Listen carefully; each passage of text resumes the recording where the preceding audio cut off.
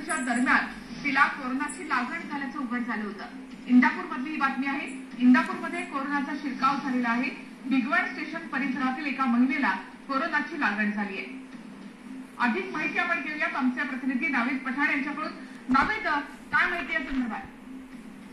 निखिला इंदापूरमध्ये आतापर्यंत एकही कोरोनाचा रुग्ण आढळलेला नव्हता.